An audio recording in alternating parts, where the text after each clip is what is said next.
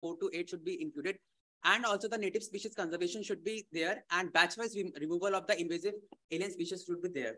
And I've also published this uh, chapter, book chapter in book, Blue Green Infrastructure across Asian Thank countries. you, Sandas. Uh, Thank you so We much. got it, your presentation.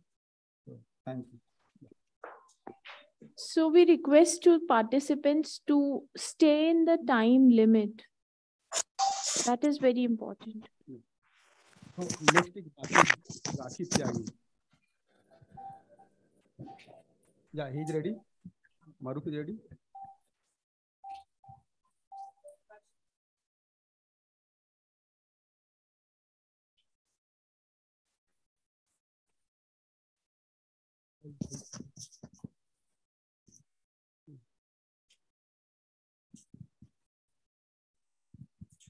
Yes. Yeah, Rishad, you may please start. Oh, sure. Thank you. Can you share my slides, please?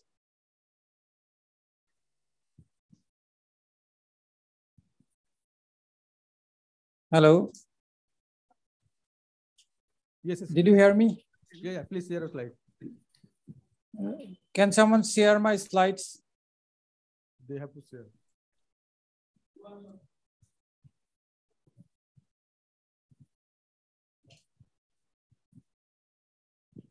Rishad, you have to go to presentation. You have joined online, right? There is a way you have to present your slides from your screen. Okay, thank you. Uh, uh, my uh, presentation goes for the cloud forest pro- uh, projects in Bangladesh. We are. First, share your screen. Dipa স্লাইডটা share করতে পারবা हाँ जी आप पहले अपना screen share कीजिए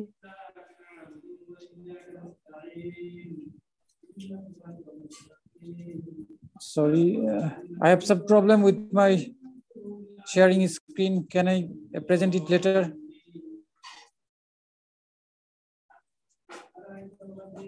yeah yeah it is happening uh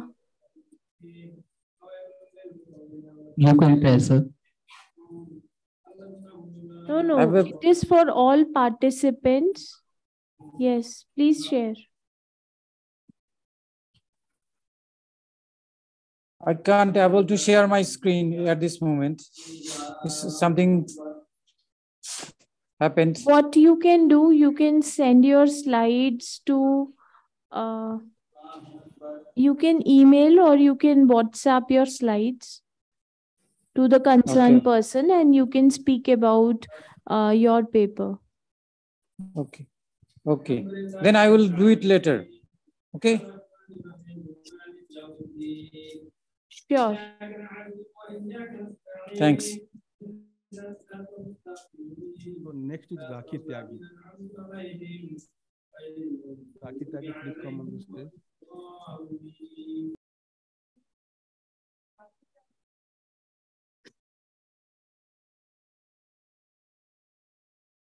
तो then uh, Manish Kumar Vijay abstract ID 14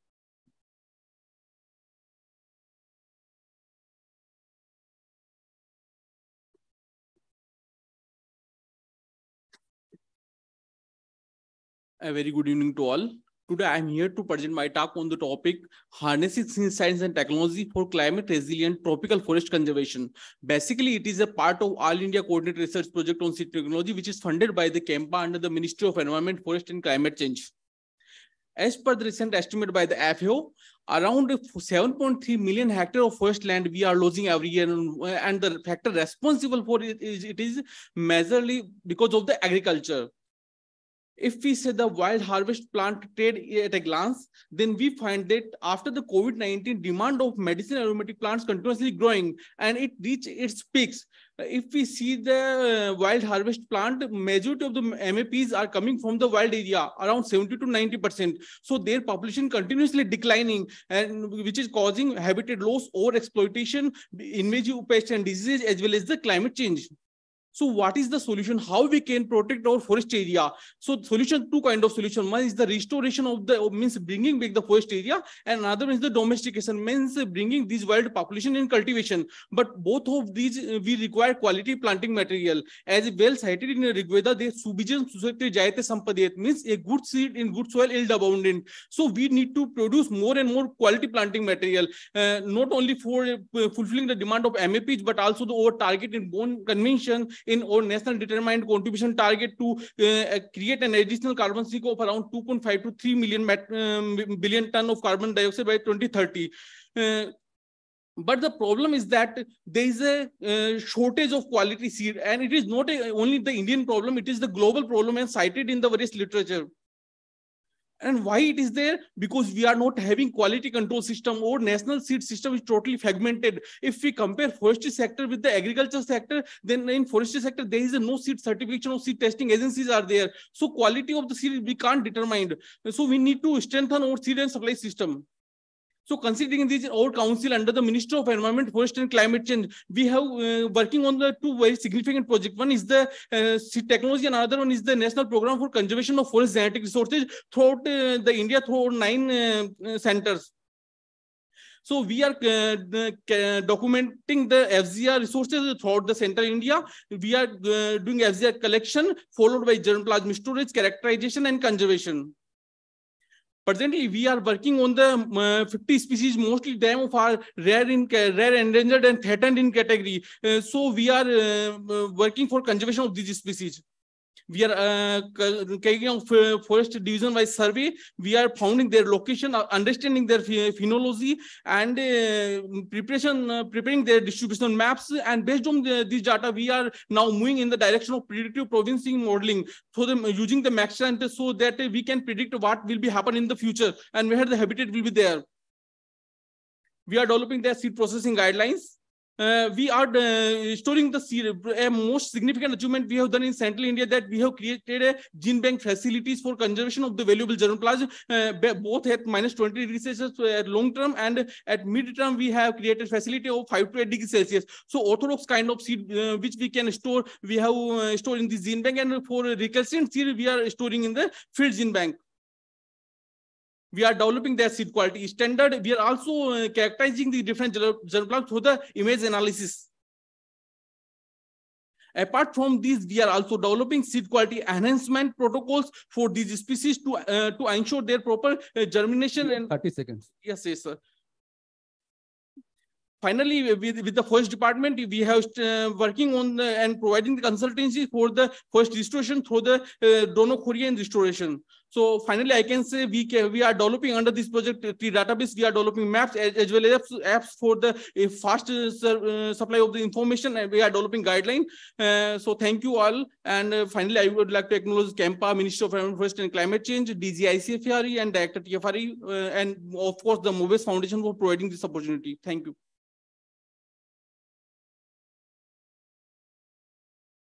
Thank you, Manish. So next is Ms. Nilima Raghuvanshi.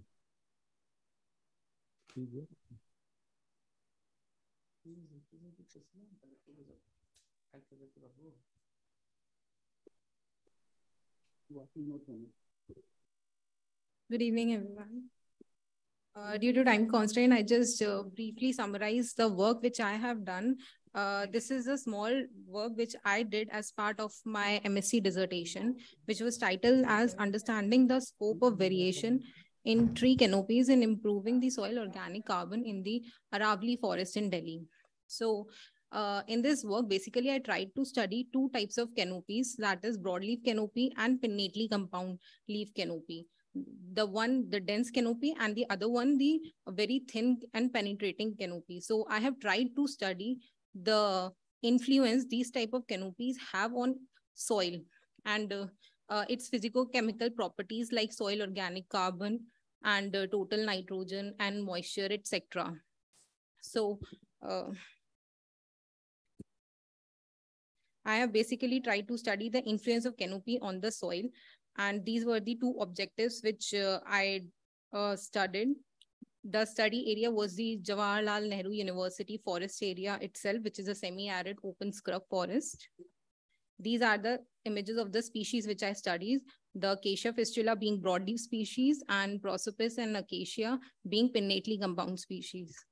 The and uh, for methodology, I study I studied various environmental parameters like canopy temperature, soil temperature. I did litter collection and its biomass analysis, and uh, also I did uh, soil sampling and laboratory analysis for soil organic carbon, pH, electrical conductivity, total nitrogen, and microbial biomass carbon and nitrogen. These are the results. I will just briefly summarize the results.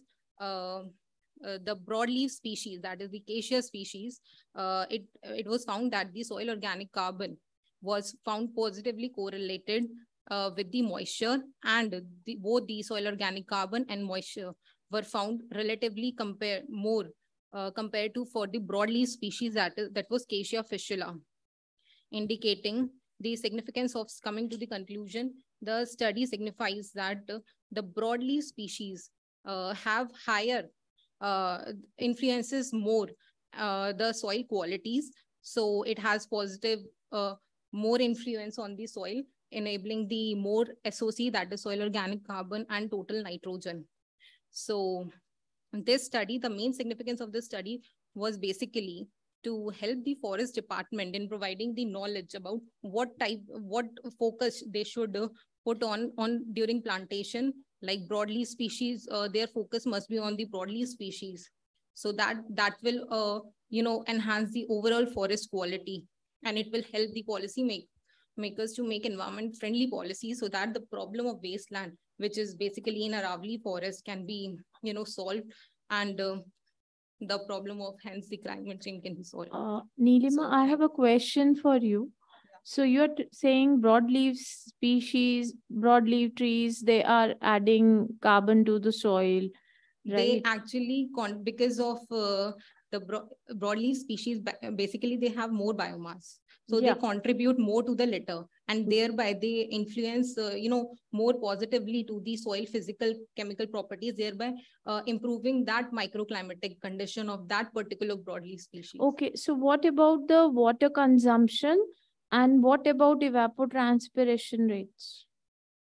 Uh, surely I did not uh, look through it. So okay. Thank you. Thank you. look at it in the future. Thank you. So but this was think about how it is support quantity of CO2 we are bringing to the soil. Yeah. If you bring more, then what will impact on the soil? So you are concluding on the soil results. So the see this relation. Definitely, I will look this yeah. into my PhD Please. work. Thank you. Yes.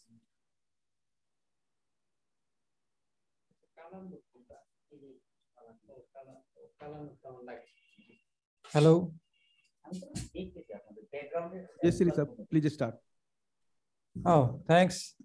Thanks for giving the opportunity. I'd like to thank Mobius Foundation and also ICC, ICC, ICC uh, coordinators for giving me the support. Actually, Okay, okay, fine. Uh, the, actually, the project happened in Bangladesh. We uh, developed a crowd forest in, in a school where our uh, with some native plants we Rishabh, use... can you be please little louder? Sorry, uh, Rishad, yeah. Okay. Uh, the presentation, uh, the presentation, uh, the uh, this is action research project was uh, set up by my uh, myself and our uh, group of people for Plant Conservation and Research Foundation. We, uh, the dream project uh, uh, in, in progress, this idea was generated when I was attending the ICSC program in 2019 in Delhi. After that, we developed some concept that is crowd forest in schools and we uh, conducted this type of project in several secondary schools of Bangladesh.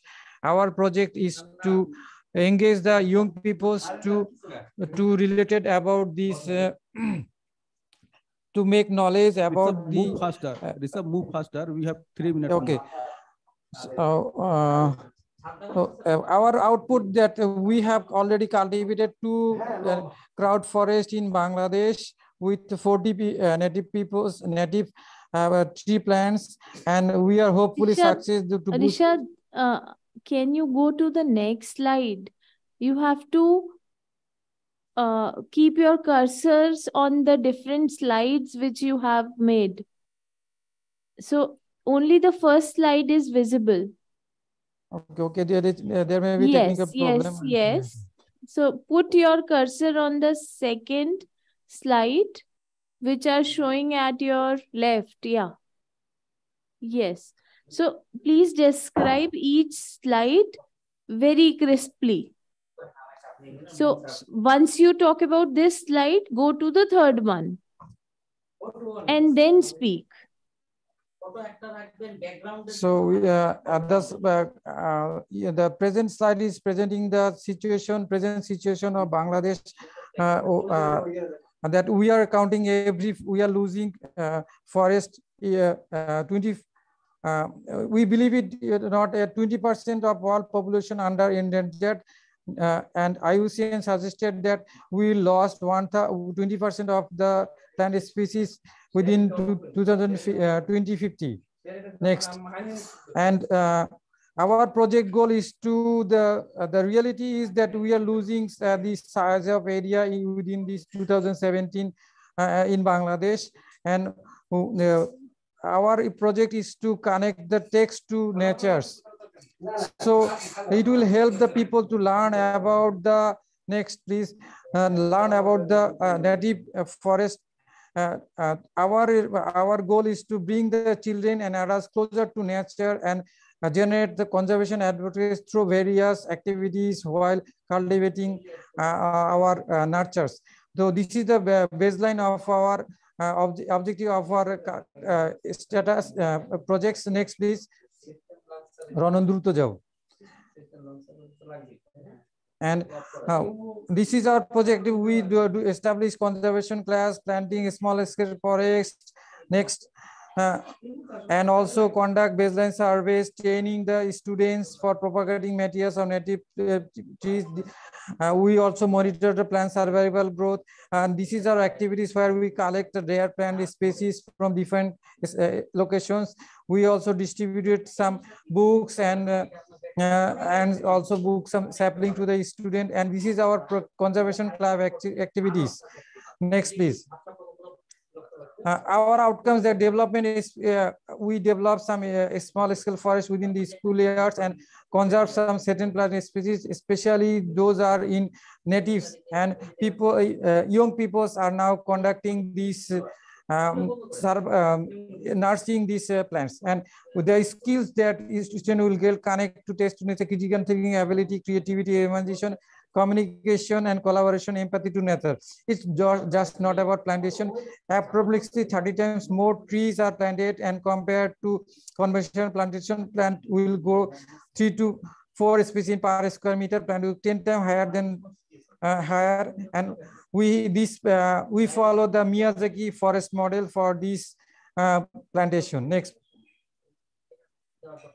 Uh, next we, thanks to Montana University and US Department and also Johiruddin schools and uh, also our other participants. Those are help help us to develop this project. And also I would like to thanks ICC especially ICC and Mo- Mobius Foundation Climate Project Reality and also the participants from different uh, locations to uh, uh, to hear this uh, message from from myself and my organization and we hope that we could do some positive works including native plants thanks Thank you, Rishad. May, may we know your organization's name?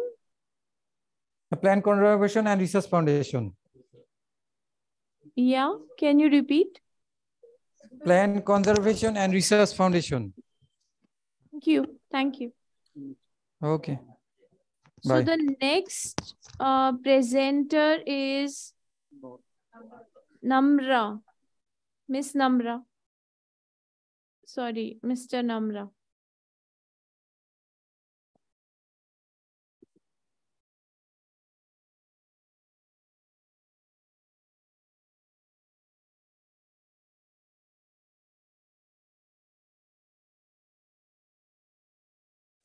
Good evening, everybody. Myself, Namra Vaida, a civil engineering student from the Maharaja Sayajirao University of Vadodara. So, I am presenting for educating for climate action and sustainability. So, first of all, what exactly is climate action or climate change? Yeah, long term changes in the temperature as well as weather patterns are referred to as climate change. Such fluctuations may be brought on by significant volcanic eruptions or variation in the sun's activity. However, since the last few centuries, human activities like primarily burning or combustion of the fossil fuels like coal, oil and gas, etc., have been the root cause of climate change why is climate change education so important? Many of us might believe that rising temperature are the main effect of climate action, but the story doesn't start only with the temperature increase. Changes in one place might have an impact on changes in all other areas since Earth is an ecosystem in which everything is connected. Also, mm, the ability to recognize and address the effects of the climate catastrophe is made possible by education, which also equips people with skills, values, information, attributes necessary to engage them as agents of the change. Also, people that are educated are more likely that they adopt new attitudes and behaviors, as well as make decisions regarding the environment. Students can learn about effects of global warming and how to adapt change in the classroom. All individuals are empowered by education, but young people especially inspired to re take relevant action. Thus, the shift to a low, low carbon economy will be led by today's students. Moreover, the upper secondary students will be the frontliners of the climate change action. Now we will see how education sector can help in this. So a transition to a sustainable economy can really be achieved through developing green skills to the students, such as responsibly managing the environment, use of more and more clean energy, sustainable construction technology, etc. And this will be necessary for a su successful green transition. This transition to a sustainable future can be largely attributed to education. Climate literacy for advocacy as well as behavior change. It is nothing but to openly promote the sustainable use of resources and for efforts to address climate change in local communities on the governmental levels. Sustainable Development Goal. Yeah, the goal by United Nations that is by 2030, all boys and girls will have had free elementary as well as secondary education thanks to this goal. In order to achieve universal quality education, it also seeks to provide access to affordable vocational training and eliminates wealth and gender inequalities. The impact of education on tackling climate change is far, far more. If not, then we are at the risk of failing to protect our future generations. Role of education. The world must recognize education's vital role in preparing people for green economy and helping them adapt the face of climate shocks to unlock the system changes necessary for a more sustainable world uh, education urgently need to take more prominent role in the climate action. These are some educational keys for climate change, such as creation of schools that promotes environmental principles, worldwide education, that is universal education, to hire the qualified specialists, and a separate subject to be in the syllabus regarding the same. You have 30 seconds. Yeah. So role of schools to maintain climate. Instead of putting protesting students outside of school, they must give the students the environment they need to take immediate action on the climate. Then how women can make a move in climate change. According to CEI 2021, women are 14 times more likely to die in climate disaster than men. However, ed educating these girls increases their chances of surviving and makes them more climate resilient. And not only that, by educating the following generation, they will end the cycle of poverty and illiteracy. So at last, I would like to say that the future of our planet lies upon the next generation and they need to have access to quality education. So let us educate them, sensitize them regarding climate action and sustainability in difficult times of these environmental challenges. Thank you. Uh, while making such comments like women are more vulnerable, be cautious, you may, you know, speak in some different terms. uh, you can modify your pointer. Yeah. Just a suggestion. Thank you. Okay, sure. Thank you. So next is Satabdi Das. She is ready online? Ready? Uh, good evening, sir. Please share your screen with presentation. Yeah.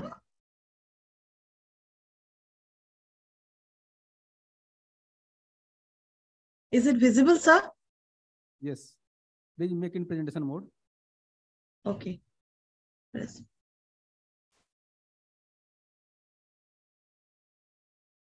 Give me one second, sir.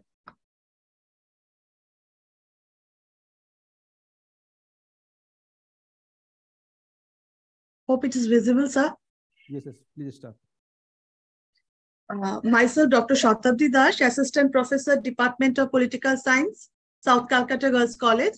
Uh, the name of my presentation is uh, Environmental Education and Sensitivity Towards Sustainability, a Pedagogical Reform through National Education Policy, uh, NEP 2020.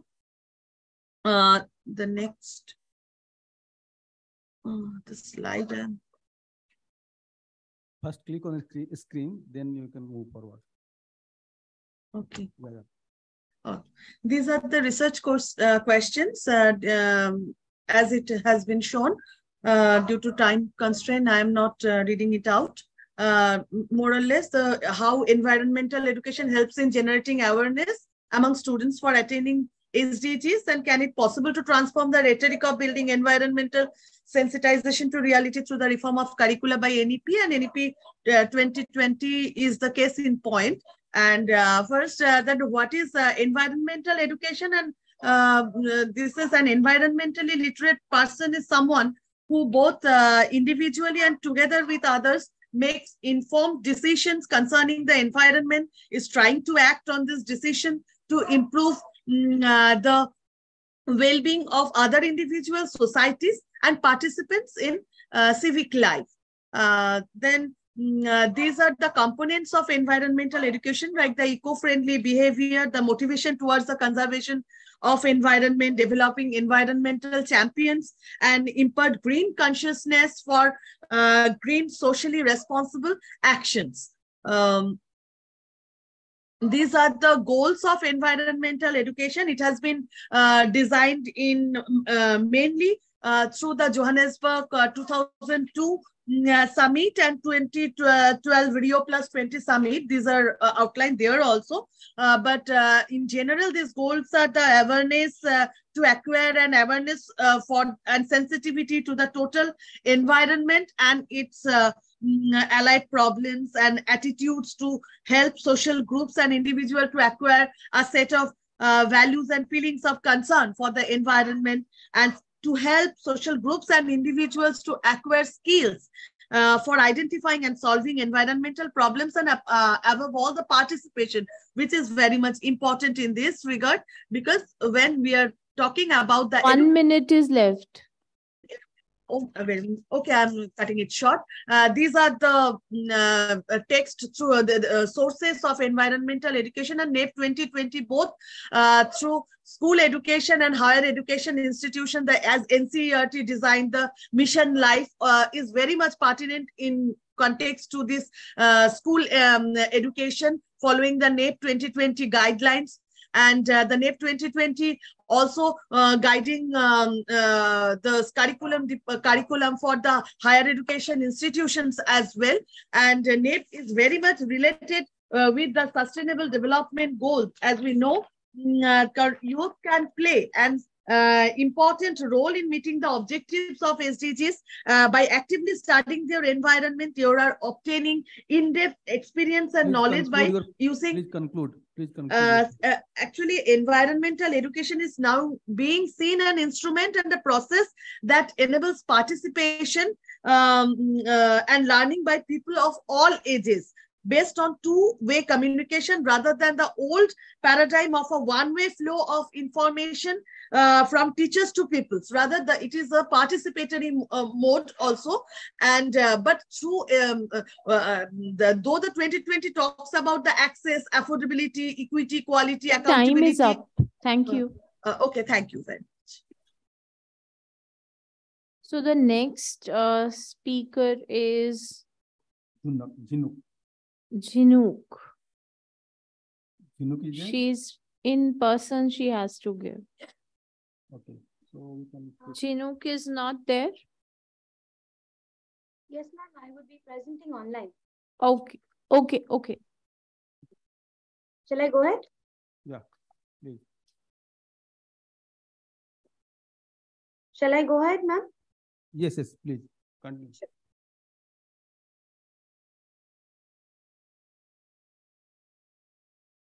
I hope my screen is visible to all. Yes, yes. Just make it the full screen sir. Yes, ma'am. Yes, sir, sure. You have four minutes. So Yes. Uh, good evening, everyone. This is Jinook Mitra from Estuarine and Coastal Studies Foundation, Kolkata.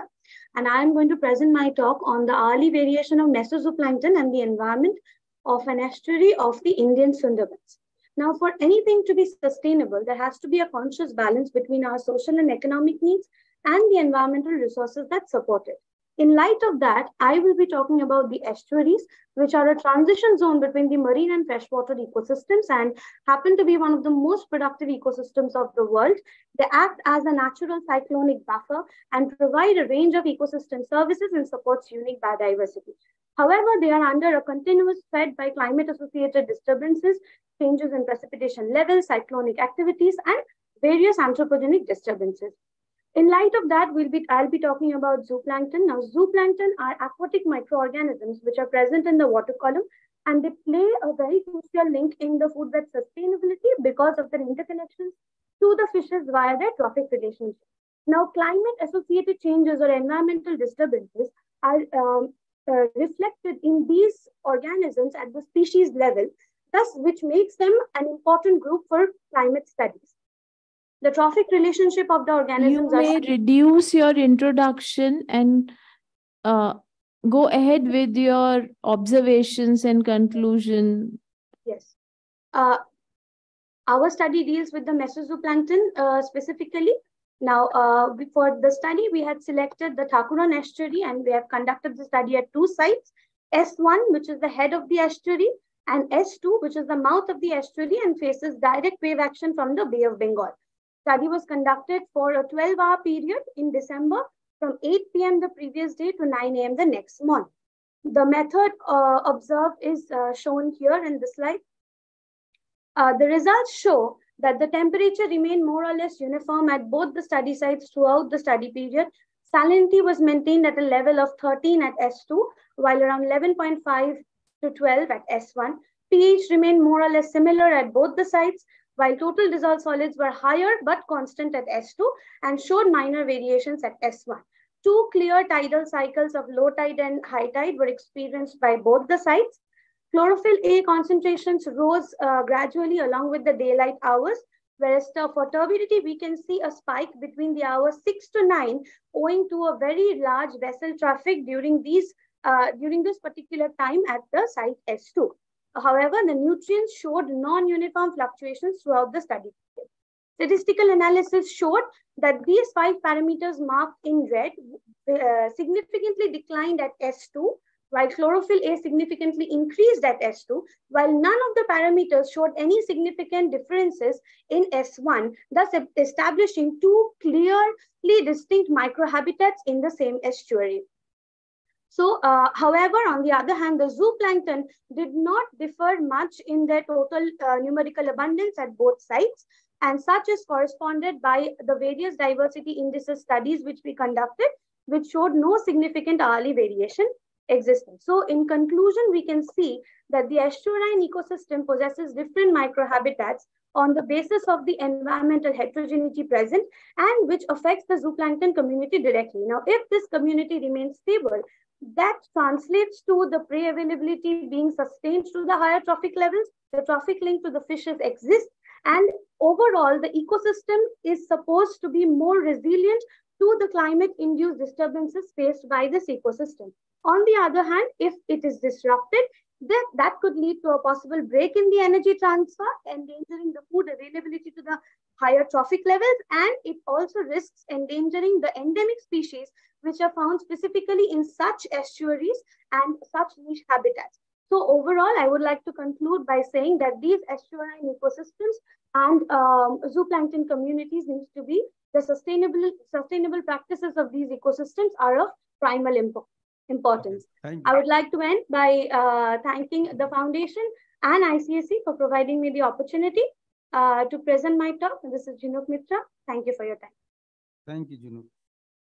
So next is again vir- uh, virtual, uh, Akshita and Sachin.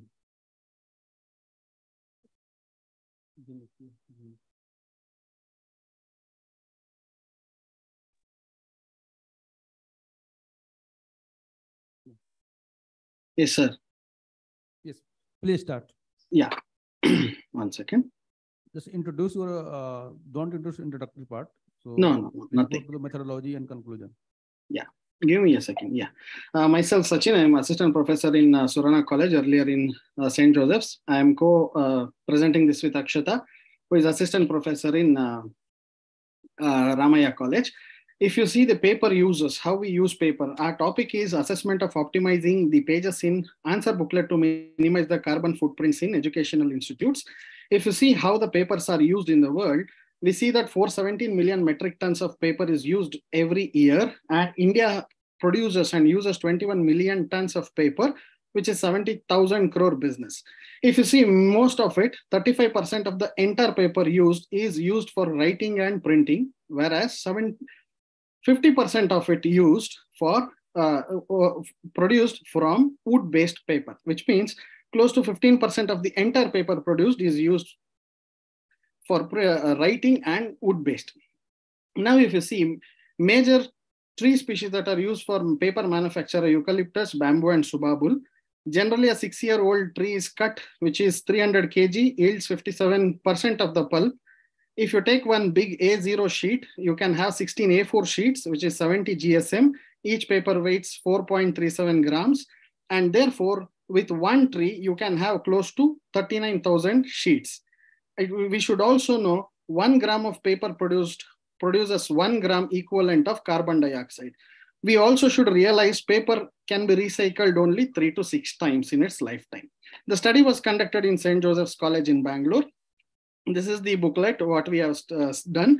We evaluated first, third, fifth semester uh, answer booklets.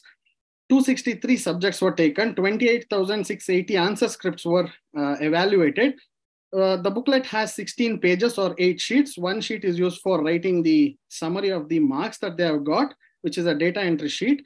We did not take any behavioral pattern of the students, whether they write big, small, leave the page, doesn't matter. Even if they have written one page or one line, we have considered it. The booklet has 28 lines to optimize the use of the booklet.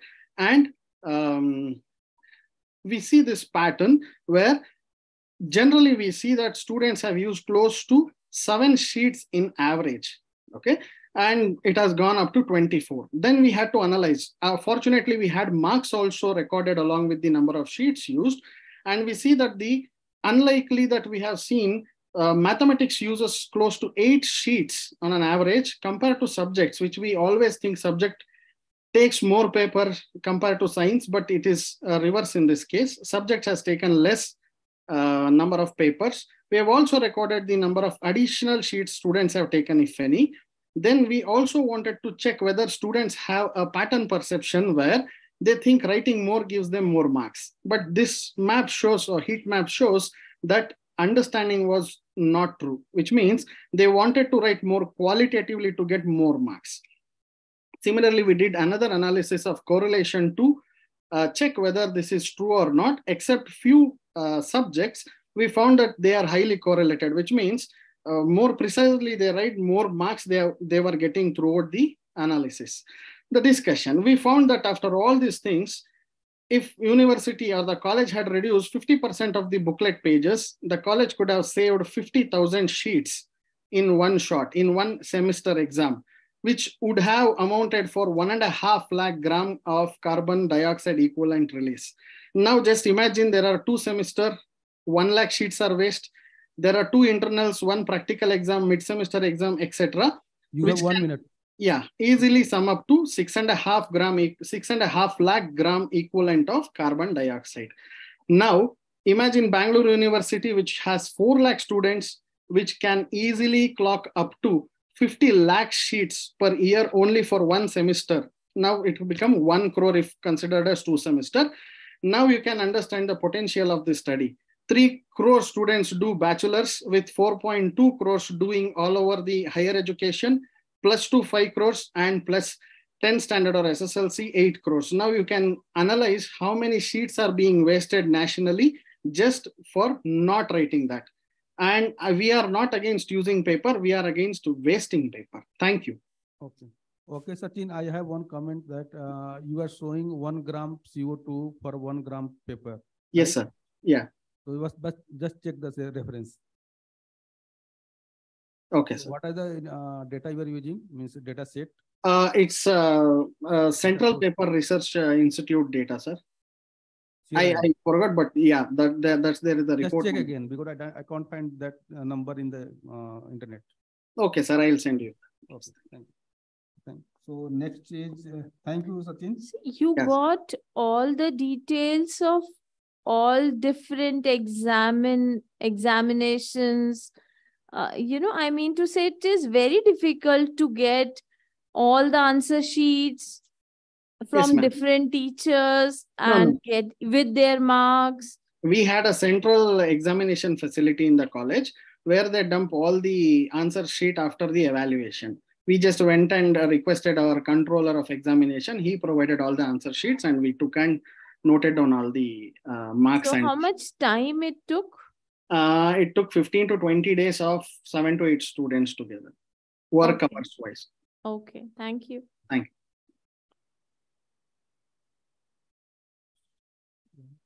So next is um, Meenal Arora. She is there? Online? Is- Okay, okay. So Samresh Pal, right? Okay, please connect.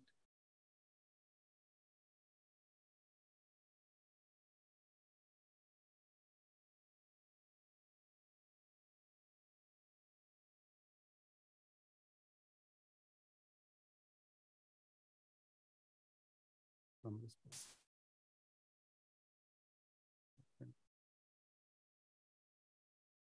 So Samresh Pal? Yes. Yeah, please start. You have four minutes to present. Yeah.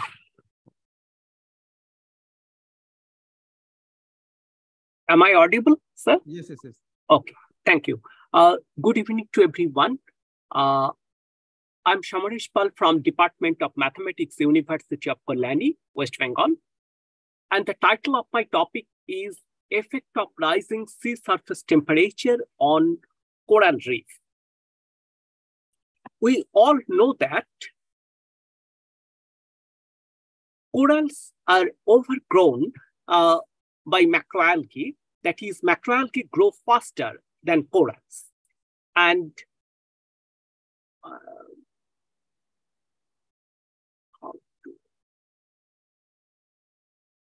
slideshow. Yes. And uh, macroalgae spread vegetatively over algal turfs at a rate A. And uh, we know that macroalgae moves from one patch to another patch. So the colonization rate of newly immigrated macroalgae on algal turf is B. And coral has natural mortality rate G. And we know that macroalgae, they release toxic chemicals and which is harmful uh, for the marine organisms. And the toxin induce death of corals because uh, uh, due to this interaction, coral population is reduced. And this is the uh, reduction, this is the rate that is gamma m over delta plus m per unit area of coral cover, where gamma is the maximal toxicity rate and delta is the macroalgal area at which the toxicity rate is half of gamma. And uh, herbivorous fish, they actually predate on this macroalgae. And so they are uh, very much beneficial for the existence of coral population. And this G is the maximal grazing rate of herbivorous fish. And this omega, this represents coral area for the settlement for herbivores at which grazing rate is half maximal. And this is our simple model. Uh, this first one is the macroalgal uh, growth rate, DMDT, and second one is the coral population, and third one is the turf algae. Turf algae is the assemblage of microalgae over which macroalgae and coral they grow. And fourth equation is for the effect of temperature. This is the uh, change of temperature, and this uh, this is the most important one in our modeling system. And we, we actually analyze the system with this condition. And here T A, T suffix A is the normal average sea surface temperature. And this beta, this represents the coefficient of surface heat transfer. And we know that corals growth, they depend on this 30 seconds. sea surface temperature. And this growth rate is given by this relation and this T, this is actually, there are two threshold, uh, lower level, and this is the upper one. I'm directly going to the result. This is the recruitment rate of corals as a function of temperature. And here we have considered different temperature zone. One is temperate zone, another is tropical, and uh, another one is subtropical zone. And this is the bifurcation diagram with uh, the effect of toxicity and sea surface temperature. And from this, I'm just moving to the uh, observation. We, the macroalgal toxicity tolerance in corals increases due to increase of sea surface temperature up to a certain threshold. Your time is up. Okay, okay, okay. Thank you. Can you Thank you. can you quickly conclude? Yes. Yes. This is uh, our observation is that the macroalgal toxicity tolerance in corals increases due to increase of sea surface temperature up to a certain threshold. And with high sea surface temperature, the toxicity tolerance in corals reduces drastically and followed by the mass mortality rate of corals. That is, we usually called uh, the coral bleaching.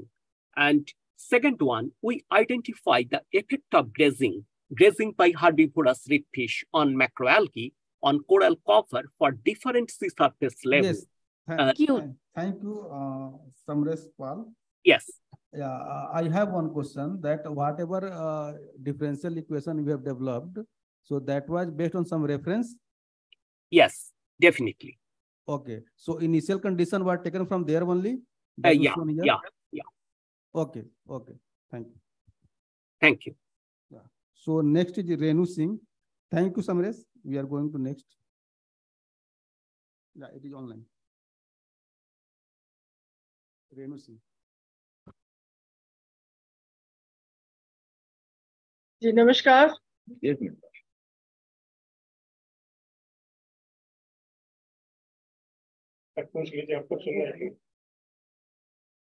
Good evening. Can you can you hear me, please? Yeah, you are audible. Please share your screen. Yes.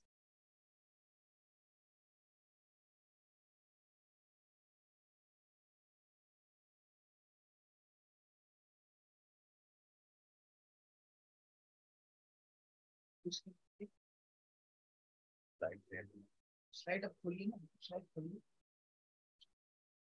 खोलिए sir screen share हो रही है नहीं आप देखिए ना You are not visible here. Then Only audible. first of all open your PowerPoint then share your screen. Can you hear me? Yes. कहाँ पे है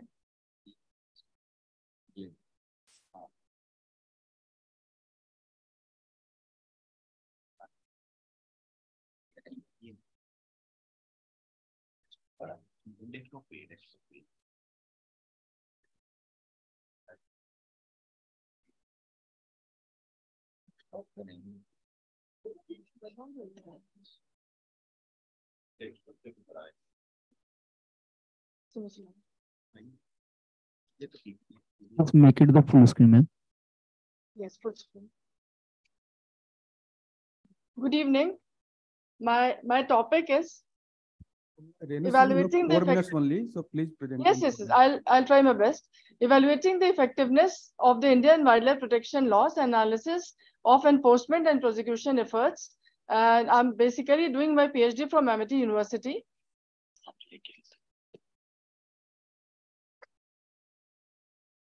Uh, effectively enforcing wildlife and forest offenses requires a well-functioning, efficient uh, prosecution service and an independent judiciary that is required. Judicial responses to wildlife trafficking can broadly be classified into three categories. Environmental matters, including wildlife trafficking, being handled by the prosecution and judicial authorities with general jurisdiction. And the second one is internal specialization of prosecution and judicial authorities, usually uh, staffed by prosecutors and judicial officers who have undergone specialized training and the establishment of the specialized environmental courts, body or individuals in the judicial branch of government and tribunals, non-judicial government dispute resolution bodies. Next, please. The study area was basically Uttar Pradesh, uh, India. From the reports with the Forest Department and, and e-media from 2012 to 2021, 10 major districts were primarily focused, Pilibhit, Bahraich, Gonda, Sultanpur, Lakhimpur Kheri, Balrampur, Barabanki, Maharajganj, and Amethi. These were the areas which were studied. Next, please. Uh, to analysis the enforcement and judiciary effectiveness, what, what exactly happens? Wildlife offenses are uh, happen and then the arrest takes place. Drafting a report offender referred to the court. Uh, then proceedings uh, are undertaken. Public prosecutor, classification without follow-up. Uh, this can lead to release. Then investigation, examining uh, judge discharges referral for trial. And decision is tribunal regional court conviction decision. This can also lead to result.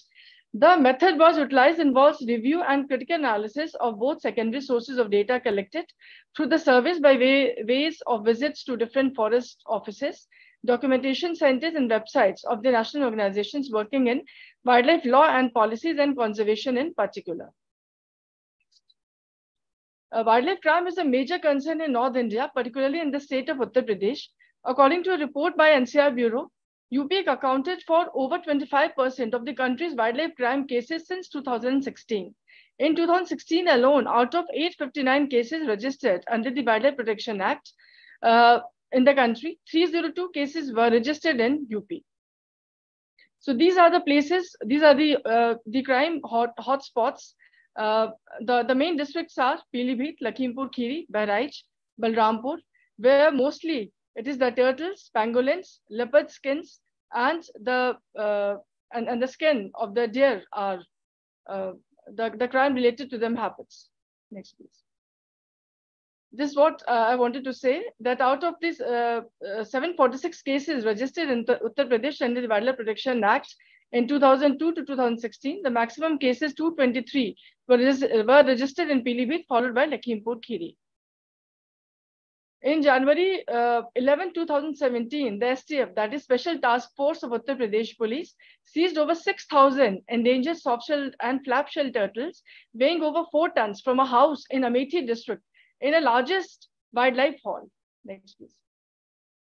Mostly, I'm talking about compounding cases. The, there, are, there are many cases which are pending in the court and the cases which are pending in the department. This also leads to a problem. Now the confiscation level by forest department, um, and it is the, the turtle. Basically, it's, it's a case study. Chain of custody demonstrates illegal trade at different levels of trading at the international level. Uh, soft shell uh, turtles, Indian flap shell turtles, primary level traders, secondary level traders, tertiary level traders, and then it is the quaternary level traders. Uh, basically, it's, it's about Amethi and Sultanpur. The main community who really deals with it are Kanjar community, and then it goes to shopkeepers from shopkeepers goes to local consumers traders and then the traders in the different countries uh, they, it goes to china indonesia and gulf countries also next please this is about 2017 and 20 can you hear me please am i audible Yes, yes. Please continue. Your time is already up. Please conclude fast.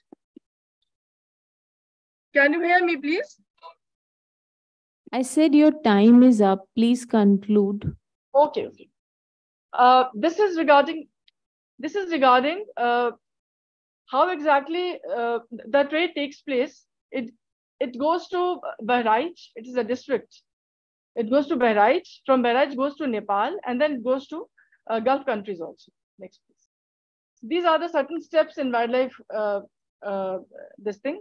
There are power to to search and uh, the the premises, which is in Section 50 of Wildlife Protection Act. The power to stop, detain, or arrest any person without a warrant is in Section 50 Wildlife Protection Act. Recording the statement of the witness is there. Then there's a bail or conditional grant of bail is there. Uh, examination of the author authorized persons presenting the complaint to be dispensed with section 200 CRPC. Issuance of warrants, summons by magistrate. Generally, the chief judicial magistrate, he uh, handles these cases. Recording of the pre-charge evidences, accused to state whether he pleads guilty or not, and then accused to enter upon his defense and produce his evidence. Examination of the accused by the court, judgment, acquittal, or conviction of the accused. Yes. Now the approaches for the Please better law. conclude, Please conclude fast. Yeah, yes, I'm concluding. It is, it is just the last slide, please.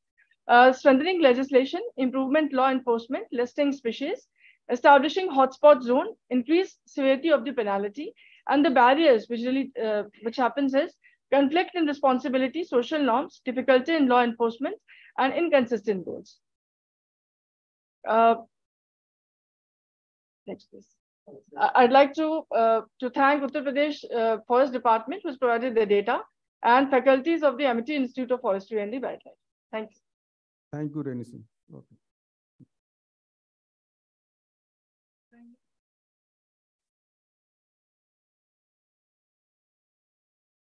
Uh, we congratulate all the participants. It was very enriching experience for all of us. And many, many uh, audiences were sitting there.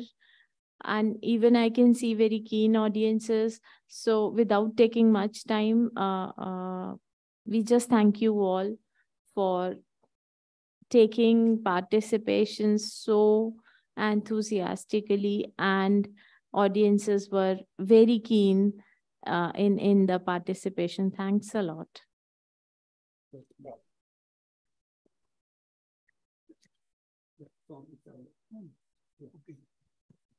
Yeah, of course, uh, there were various subjects on which the presentation presentations were made, and I think for the judges, it was also difficult to you see evaluate it on the basis of the fact that you see it was quite different.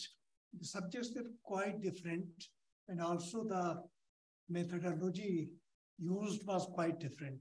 But anyway, uh, I think they have uh, done it, and I congratulate the presenters that they had enough, I think, enthusiasm to present all this. You see, to give their presentations very well. So th this is just a beginning, and I think in future they can improve it further. In some cases, you see, the presentations were written in very small letters. So they should, in fact, take into account that uh, everyone is able to read it in a PPT. That is very, very important. That is the suggestion I want to give. Thank you very much. Mm. Thank you, everyone. Yeah. because there was no common discussion, but uh, like we are also from one of the partners of this event. Abdul Zahir is a senior professor of physics from Jalil Islamic, and this student in the higher university. And uh, I appreciate your efforts of have introduced so many students for this course, for which we are an example, and then for you also for this kind uh, you know, kind consideration of these kind of subjects which are uh, as I said, destination, Mm. that there are so many um, diversification in the area, in the methodology, in so many things, but still you are trying to collect together Mm. and to give them some kind of you know, gradation. So I think this uh, initiative should continue. Thanks, thanks. Thank you. Thank you uh, to all the participants. And of course, all this is this uh, with various uh, different fields. So someone from the presented from the mathematics background, something differential equation, and they were trying to optimize the uh, conditions. They have assumption from uh, initial condition, and how can we optimize to survival the war rate at less area something. So I think it was also, I am from mathematics background. When I came to environment, what will do? So in mathematics, what will do environment? what they were thinking. But, yeah, so, so ultimately I work on software, then I, yeah. So completed my PhD in environment. And I'm from environmental science, so we we are making a good combination. Okay, thank you. And it was very difficult to assess the all the presentation. There are different, different background because people are someone from assist, uh, assistant professor say something, someone from the students, some from someone from MSc, MSc uh, postgraduate, PhD. So of course we have to evaluate over all the things. So yeah, yeah. Oh, very challenging. The results will be announced tomorrow. Yes. Meanwhile, we will conclude that. So how many ranking we provide? Uh, three. I have concluded this. First, second, and third. Matlab, I have given my mark. No problem. What we can we can we can jointly we can conclude. That will be better. Yeah. I think we can give to mom and you can announce accordingly. Generally, we do jointly. Acha, We do okay. jointly. Then we should take Yeah, yeah, the. they will go out and we will do this. Yeah.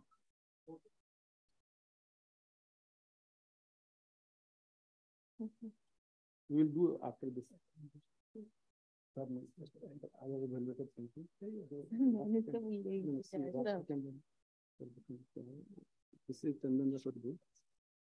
Uh, I have given this marks to this person. Jinu can Akshita and Sachin, Extra and something, okay. uh, who was assessed paper one. Mhm. And हाँ।, हाँ। ये इन्होंने last में हाँ जब मैं last वो third आ रहा है मेरे उसमें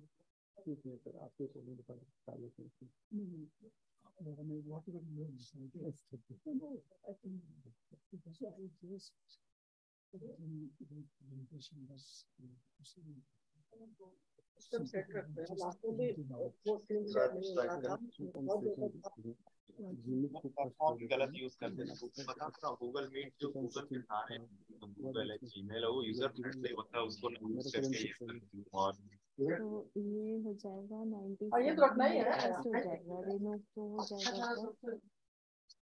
हाँ में कर हाँ वो तो फ़र्स्ट हो जाएगा।